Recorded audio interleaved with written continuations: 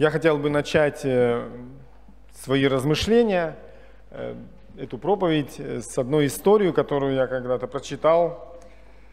Есть такой пастор Боб Джордж, он автор книг также, и он как-то описывал такую историю из его жизни о своем сыне. Его звали Тим, ну, наверное, его зовут Тим еще, не звали, не в прошедшем времени – и эта история заключается в том, что когда его сын Тим был, э, ну, достиг совершеннолетнего возраста, э, ну, имея в виду того возраста, когда он должен был уже поступать и уезжать в другой город учиться. Э, в Америке это колледжи в основном, у нас это университеты и прочие высшие заведения учебные. И так бывает, что мы провожаем детей иногда в другой город на учебу. Э, и этот парень Тим, он был достаточно э, хорошим парнем, он был сыном верующих родителей, и он достаточно неплохо учился на четверке и пятерке, он опрятно выглядел, он хорошо был подстрижен, был такой аккуратный, стройный, Э, и в августе он уехал. Уехал на учебу. И когда он вернулся под Рождество домой, э, ну, его родители, мягко говоря, э, были в шоке, потому что он зашел, и он так описывает, что запах от его протертых кроссовок Э, появился в доме раньше, чем он сам. Он был растрепанный, у него была э, заросшая, ну, он был заросший такой, э, его прическа была не только растрепанная, но и такая склоченная какая-то. Он имел такой вот запах неприятный от себя, от тела, и он привез две большие сумки вещей, и когда мама их раскрыла, она заподозрила, что эти вещи не стирались с того момента, э, когда он их взял с дома.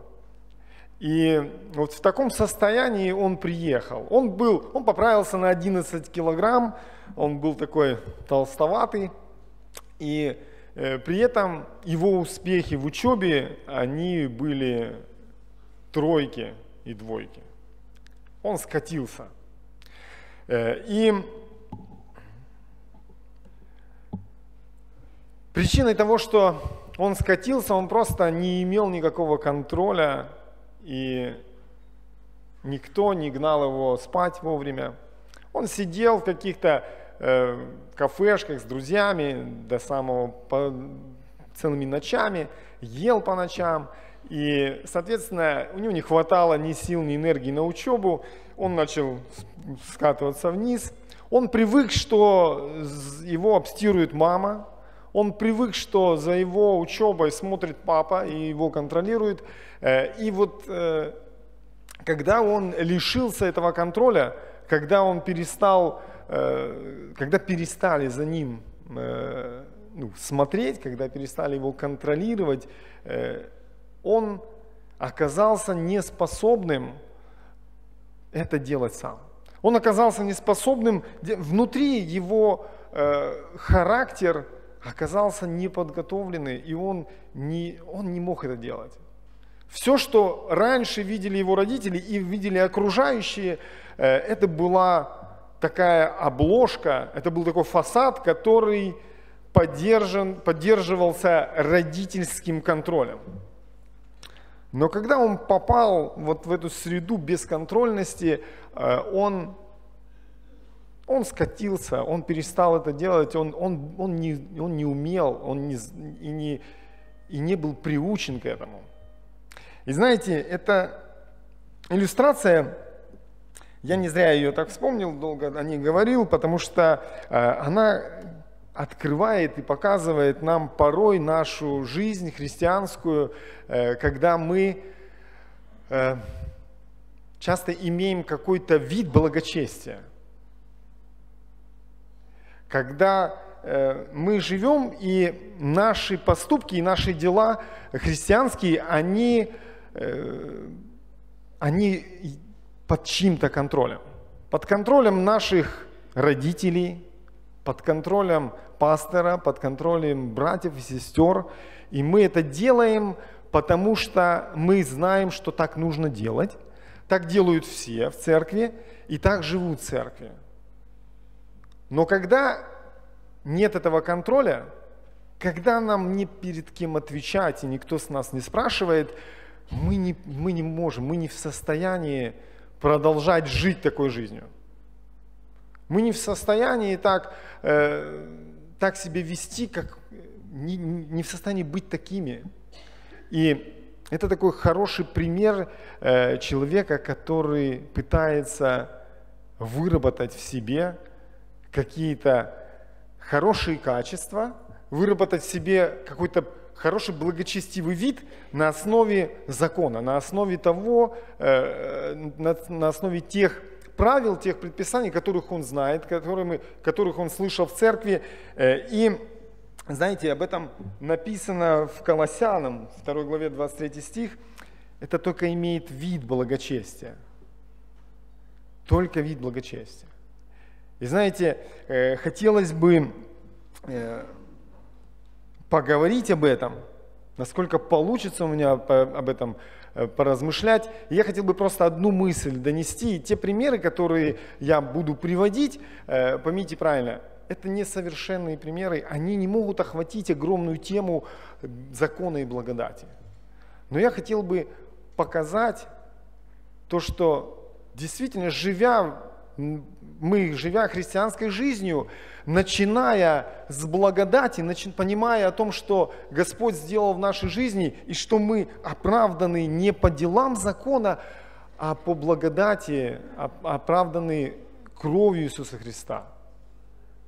Мы со временем начинаем замечать, что кто-то, ага, люди в церкви так не поступают, значит, я тоже не буду так поступать. Мы начинаем э, стараться делать оболочку.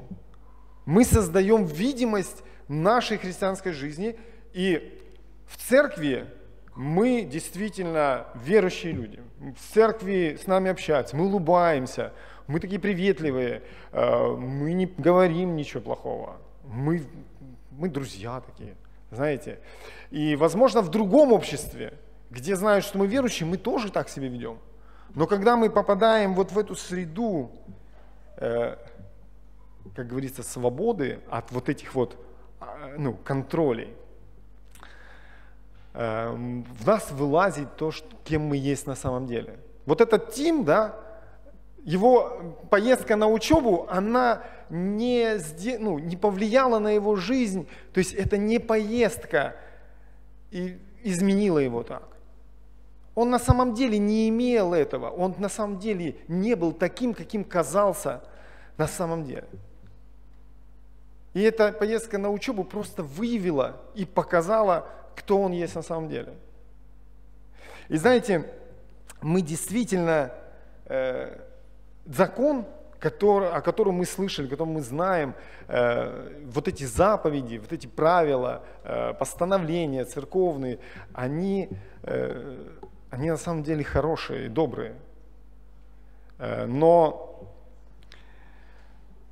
нужно правильно их применять. Давайте прочтем несколько мест, ну, вернее, даже два места, записанные в Римлянам. Римлянам 3 глава, с 19 по 25 стих будем читать. Римлянам, Римлянам 3 глава, с 19 стиха. Но мы знаем, что закон, если что говорит, говорит к состоящим под законом. Так что заграждаются всякие уста, и весь мир становится виновным перед Богом. Потому что делами закона не оправдается перед ним никакая плоть. Ибо законом познается грех. Но ныне Независимо от закона явилась правда Божия, о которой свидетельствуют законы пророки. Правда Божия через веру в Иисуса Христа во всех и на всех верующих, ибо нет различия, потому что все согрешили и лишены славы Божьей. Получая оправдание даром по благодати Его, искуплением во Христе Иисусе.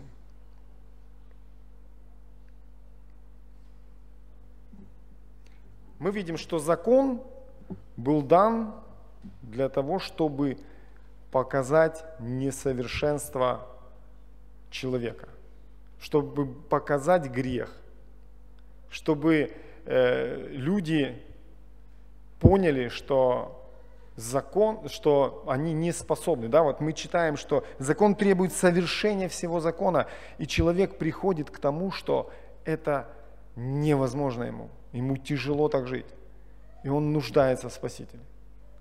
И давайте еще одно место прочитаем, Галатам 5 глава. Галатам 5 глава, 6 э, стих прочитаем.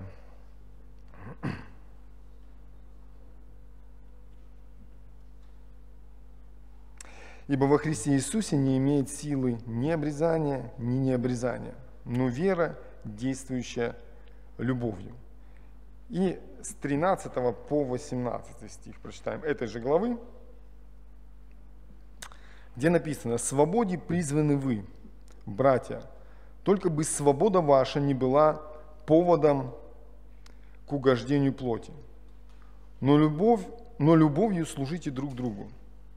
Ибо весь закон в одном слове заключается – люби ближнего твоего, как самого себя – если же друг друга угрызаете и съедаете, берегитесь, чтобы вы не были истреблены друг другом.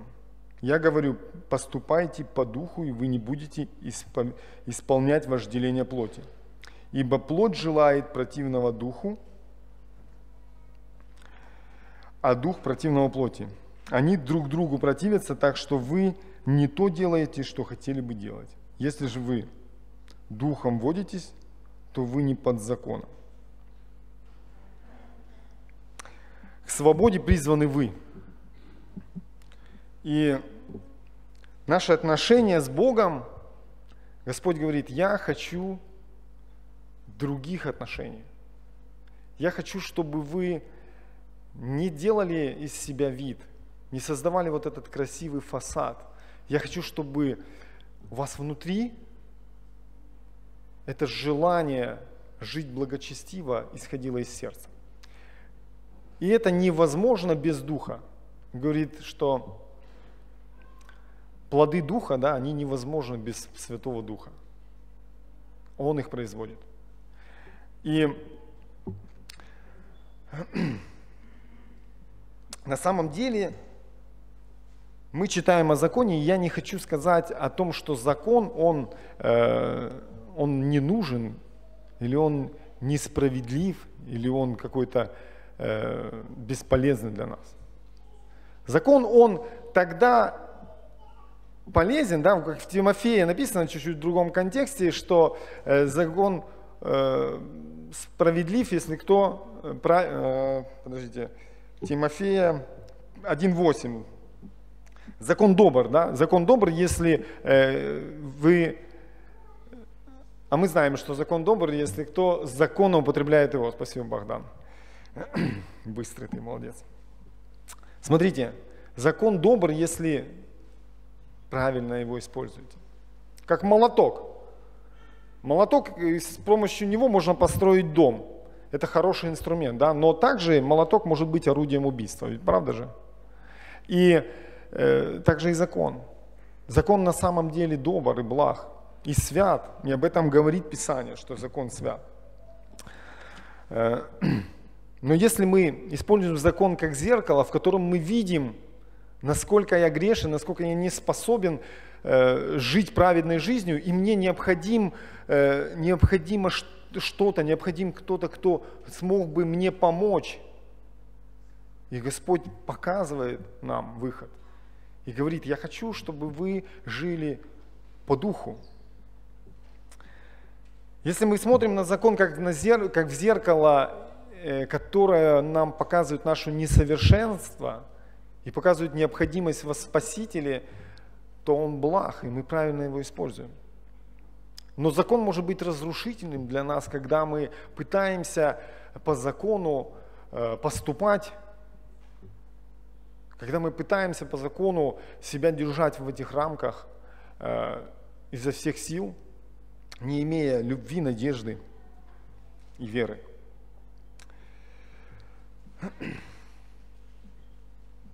И знаете, э, порой люди неправильно понимают свободу.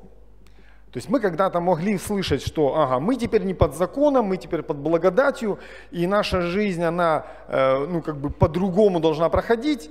И есть э, такие крайности, мы, вау, все, мы живем как хотим. Э, у нас теперь э, ну, полная свобода. Э, и знаете, э, это напоминает мне как, э, так, знаете, как подобно двум собакам. Есть, э, у кого-то есть собака вообще дома – вот у меня есть, да? Ее зовут Кипиш, смешное название, но он действительно такой, как его называли. Э, и знаете, он на цепи сидит.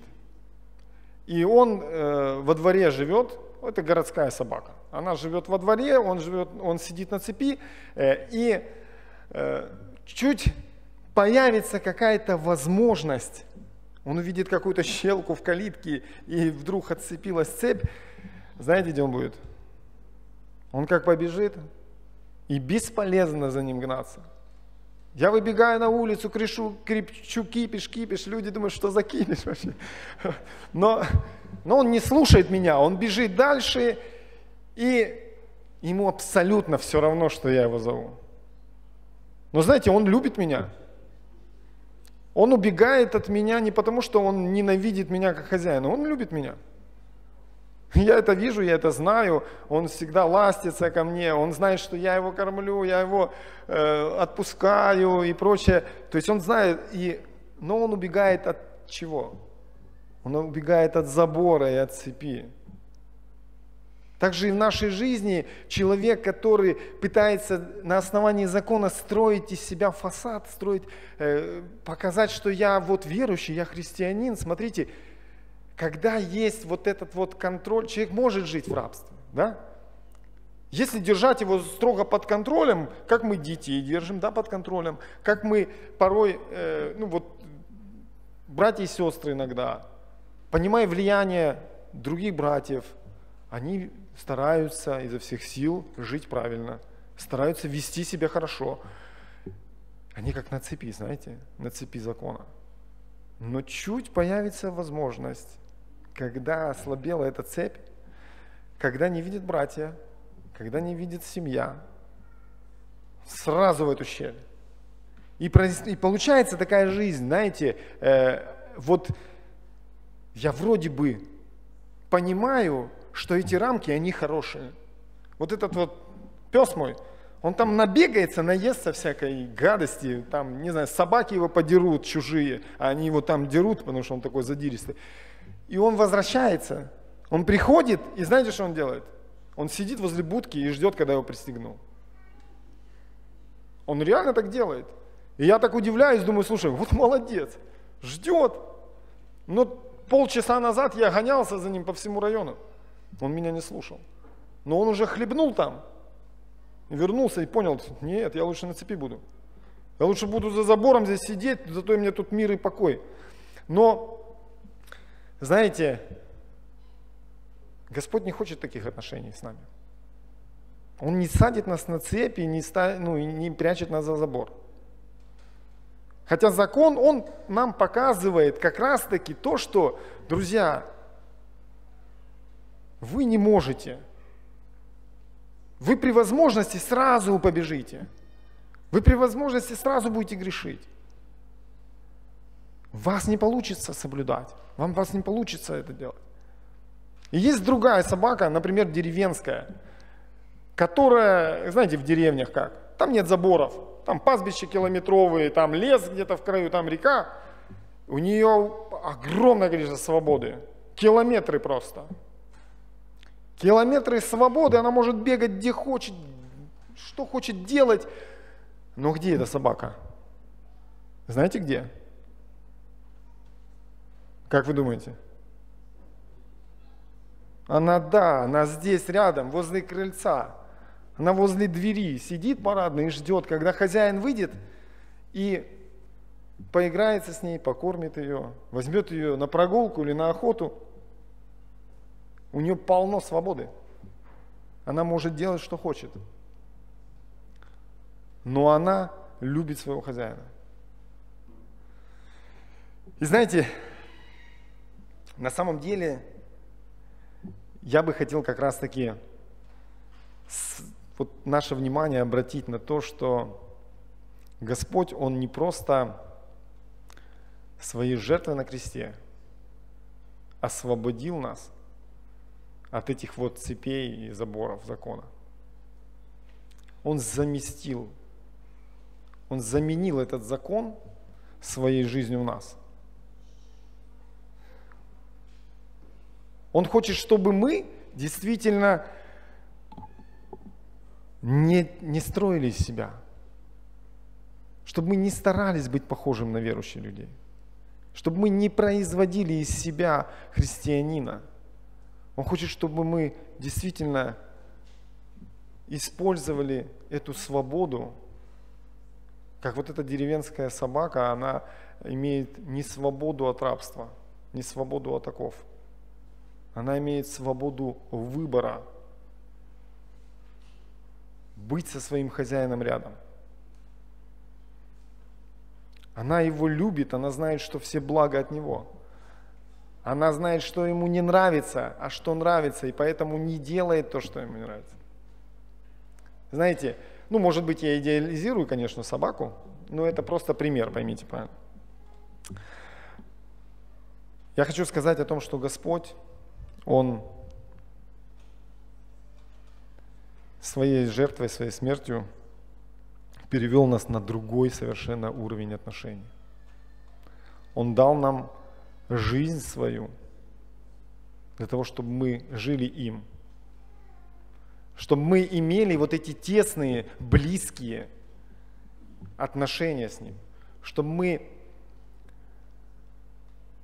совершенствовались в этом, чтобы мы действительно любили Его – и нам тогда не нужно, чем больше, чем больше мы познаем Бога, чем больше мы с Ним пребываем в общении, тем меньше мы думаем о законе.